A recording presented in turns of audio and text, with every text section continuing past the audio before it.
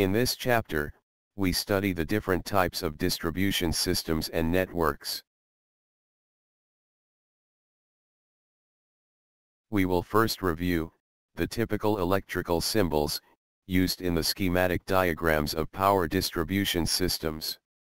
Then, we will study the main types of distribution systems.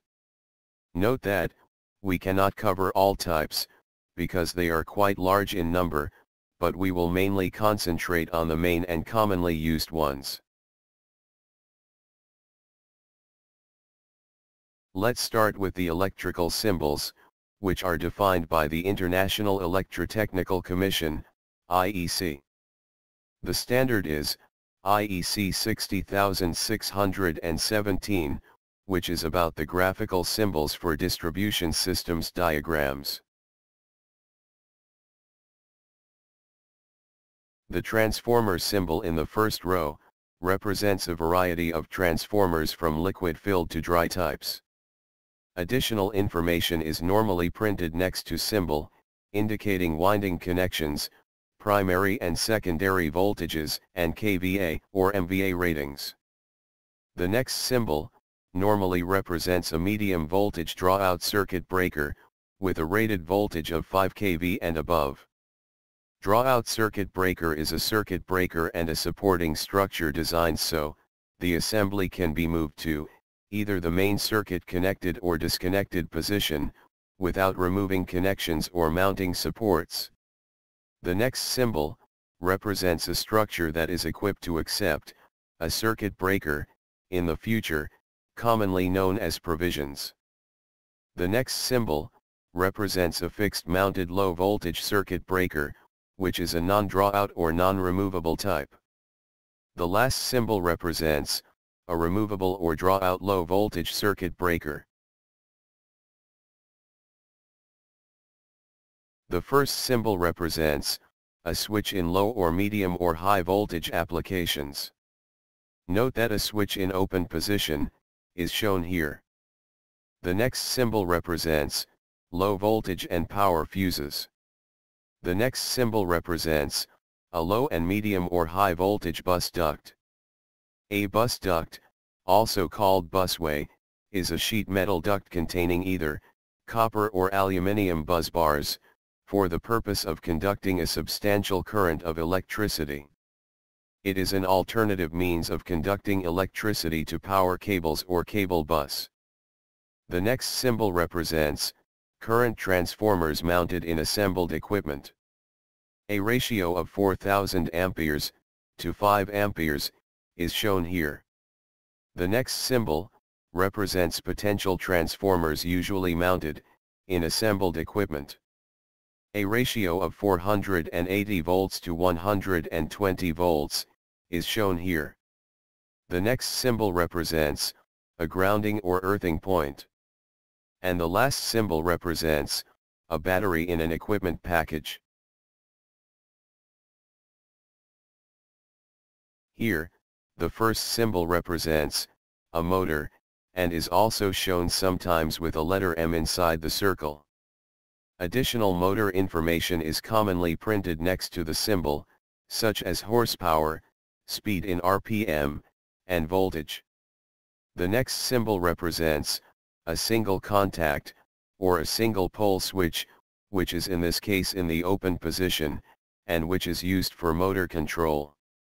The next symbol represents, a single contact, or single pole switch, which is in this case in the closed position, and which is used for motor control.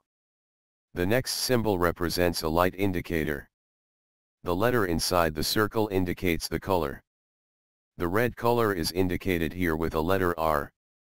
The next symbol represents an overload relay, which protects a motor, should an overload condition develop. The next symbol represents a variety of capacitors.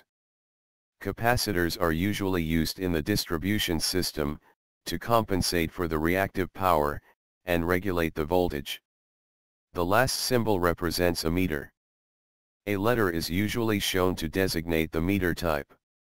For instance, A is used to designate an ammeter and V is used to designate a voltmeter. Here, the first symbol represents a protective relay.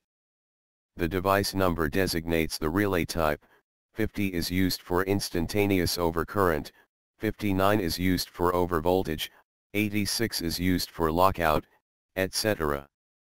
The next symbol represents an emergency generator. The symbol is frequently shown in conjunction with a transfer switch. The next symbol represents a fuse disconnect switch. The symbol is a combination of a fuse and disconnect switch, with the switch in the open position. The next symbol represents a low voltage motor control. The symbol is a combination of a normally open contact or switch, overload relay, motor, and disconnect device. The next symbol represents a medium voltage motor starter. The symbol is a combination of a drawout fuse, a normally open contact or a switch, and a motor. The next symbol represents a meter center. A series of circle symbols, representing meters, which are usually mounted in a common enclosure. The next symbol represents a load center or panel board. One circuit breaker representing a main device, and other circuit breakers, representing feeder circuits, which are usually put together in a common enclosure. The first symbol represents a transfer switch, which could be a circuit breaker type transfer switch, or non-circuit breaker type transfer switch. The next symbol represents a current transformer, with connected ammeter. The instrument connected, could be a different instrument, or several different instruments, identified by their corresponding letter. The last symbol represents protective relays, connected to a current transformer. Device numbers indicate types of connected relays, such as 67 for directional overcurrent relay, and 51 for time overcurrent relay. For a more comprehensive list of symbols, you can refer to the textbook Appendix B, which is about graphic symbols used in distribution system design. The textbook used here is, Electric Power Distribution Engineering, by Turan Gönen, 3rd edition, CRC Press 2014, published by, Taylor and Francis Group LLC.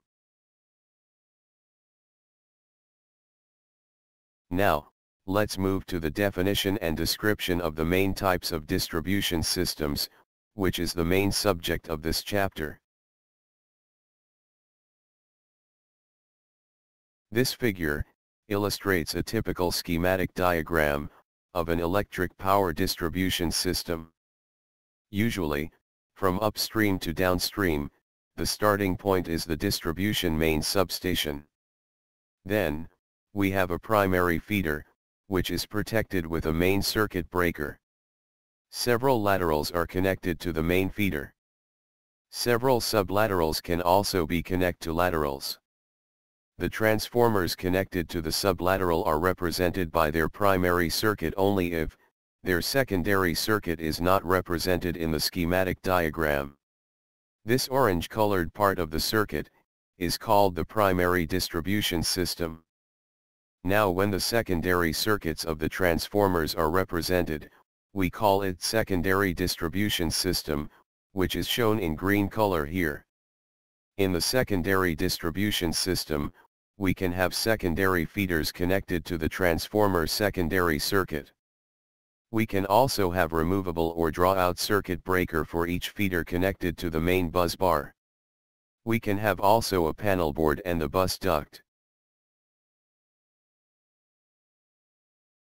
This schematic diagram shows, a simple radial type system. The system has the lowest investment, and can be deployed and expanded easily. This system is commonly used, because it offers high reliability, and is safe, flexible, stable, and easy to operate and to maintain. However, the disadvantage of this system is that, the loss of cable, primary supply or transformer, will cut off the service to all customers. In addition, equipment must shut down, to perform routine maintenance and service. An improved configuration of the radial type distribution system is, the expanded radial system, which is illustrated in this schematic diagram.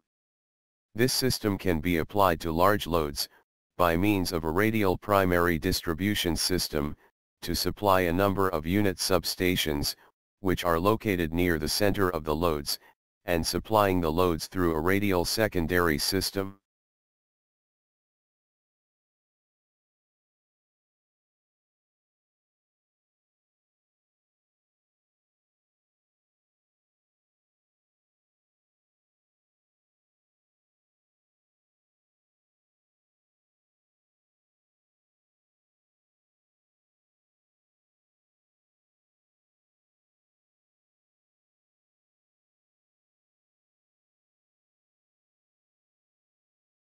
The advantage is that, a fault in one feeder, results in loss of the load connected to that feeder only.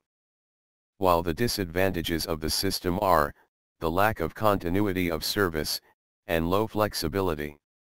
This animation, illustrates the normal and faulty cases of operation of the expanded radial system. Notice that, when a fault occurs on one of the feeders, that specific feeder will be disconnected from the busbar, but the other two feeders will remain energized. A better configuration or type of the radial system, is the primary selective system, that is shown in this figure. In this system, each unit substation is connected to two separate primary feeders, through switching equipment, to provide a normal and alternate sources. As shown in this figure, Upon failure of the normal source, the distribution transformer can be switched to the alternate source. Switching can be either manual or automatic, but there will be an interruption, until the load is transferred to the alternate source.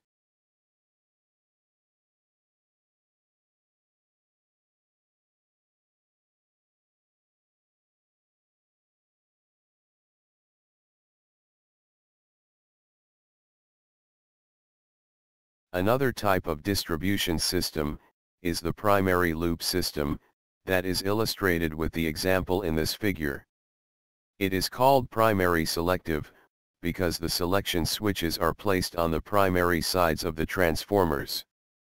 This system offers the same advantages and disadvantages as the primary selective system. The failure of normal source, of a primary cable fault, can be isolated, and service can be restored by proper sectionalizing the system network. However, finding a cable fault in the loop, may be difficult. The quickest way to find a fault, is to sectionalize the loop and reclose, and may involve several reclosings on the fault. However, the system may be potentially dangerous, because the section may be energized from both ends. Therefore, special precaution must be considered, for safe operation and maintenance, of such a loop system. Another type of loop system is the secondary selective system, that is illustrated by the example in this figure. In this system, pairs of unit substations are connected through a normally open secondary tie circuit breaker, shown in red color, the result is thus, a secondary selective system. Indeed, when a fault occurs on one of the main feeders or transformers, the secondary busbars are connected with the secondary tie circuit breaker. We can illustrate the system operation through this animation. If the primary feeder or transformer fails, the main secondary circuit breaker on the affected transformer is opened, and the tie circuit breaker is closed, and one transformer supplies the total load.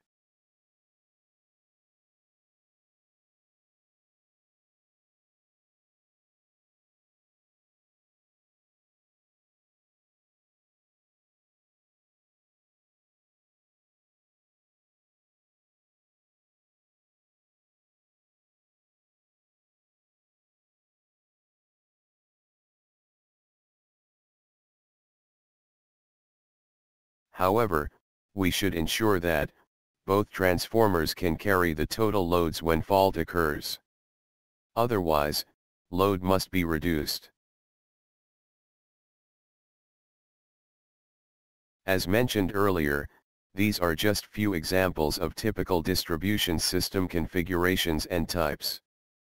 The selection of the type of system depends on the complexity, flexibility, cost, reliability, and availability constraints.